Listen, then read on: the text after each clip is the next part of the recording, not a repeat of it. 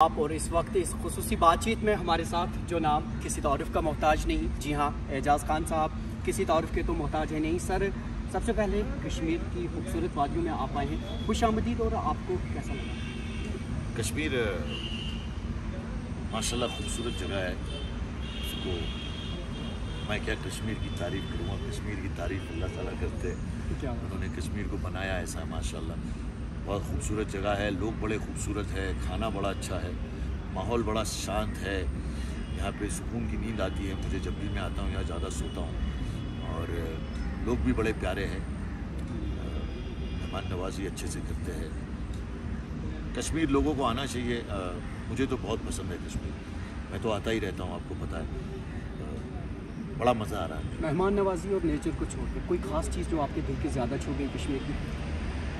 कश्मीर की गहराई मुझे ज़्यादा पसंद है। यहाँ के जो टैलेंटेड बच्चे हैं, जिनको पूरी दुनिया में कुछ और दिखाया जा रहा है, लेकिन ये है कुछ और।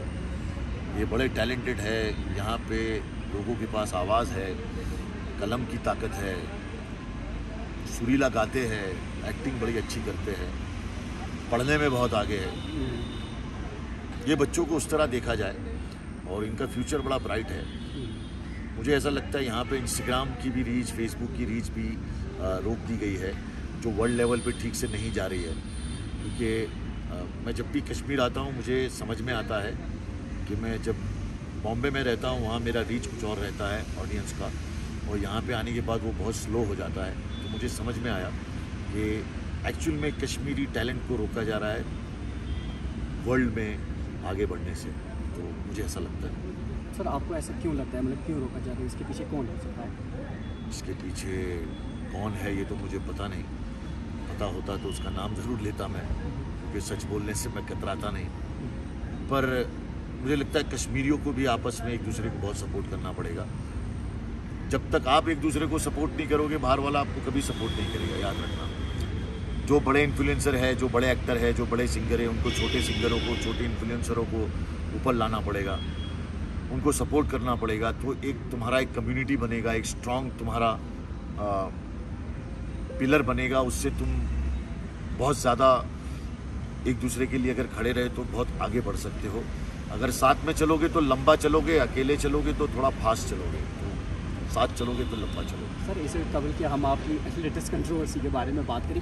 कश्मीर किस रीज़न की वजह से आना हुआ किस प्रोजेक्ट पर काम किया जा रहा है? मैं एक वेब सीरीज़ कर रहा हूँ बॉम्बे बॉन्ड्स जिसका एक छोटा सा पार्ट इधर शूट करूँगा। फिर एक कश्मीर पे छोटी डॉक्यूमेंट्री है, उसके लिए शूट करूँगा मेरे ब्लॉग के लिए।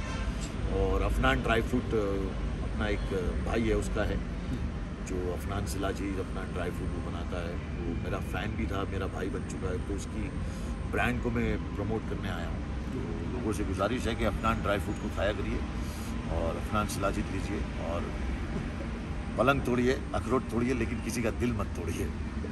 सर कश्मीर के जो लड़के आपके साथ काम कर रहे हैं खासकर हम मोहम्मद साहब की अगर बात करें या यहाँ के तो किस तरह का माहौल किस तरह का एक्सपोजर आप यहाँ से पाते हैं और क्या आप चाहते हैं किस तरह के प्लेटफॉर्म्स की ज़रूरत है? कश्मीर के बहुत टैलेंटेड लड़के हैं जैसे उमर है गाजी तोकीर है फिर एक लड़का जिसको मैंने साइन किया कल वो उसका क्या नाम है? आतिफ। आतिफ आतिफ। वो वो भी अच्छा उसको मैं कल साइनिंग अमाउंट दिया उसको भी साइन किया। कश्मीर से बहुत सारा टैलेंट मैं लेके जाऊँगा इन आने वाले वक्त में भी उनको बहुत काम दूँगा। मैं कश्मीर पे एक वेब सीरीज़ भी शूट करने वाला हूँ। तो जैन के टूरिज़्म से यही रिक्वेस्ट है कि आप कश्मीरी टैलेंट को प्रमोट करिए ना। आप जो जिनको काला कुत्ता नहीं जानता उनको आप जान डालते रहते हैं जे के, के पेज पे कोई फ़र्क नहीं पड़ेगा। आप कश्मीरी टैलेंट को जे के पे डालिए उनको प्रमोट करिए उनको सपोर्ट करिए तब मज़ा आएगा। आप एक दूसरे का सपोर्ट करेंगे तो ही होगा वरना नहीं होगा।